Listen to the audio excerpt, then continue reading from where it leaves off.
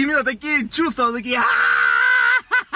Вот такие вот чувства у меня были э, во время съемок э, клипа группы Чайф. Тагильский шоумен Михаил Виноградов снялся в новом клипе группы «Чайф». Уральская рок-группа представила новый клип на песню «Хэллоуин» с последнего альбома «Слова на бумаге». По сюжету молодой музыкант ходит по снежному Екатеринбургу, встречает разных людей, выступает в баре. В финале становится понятно, что все происходящее на экране – это воспоминания лидера Чайфа Владимира Шахрина. Тагильчанин Михаил Виноградов сыграл в клипе одного из прохожих на улице. Он представил создают видео в экстравагантном образе мужчины, подчиняющегося женщине в кожаном костюме с плеткой.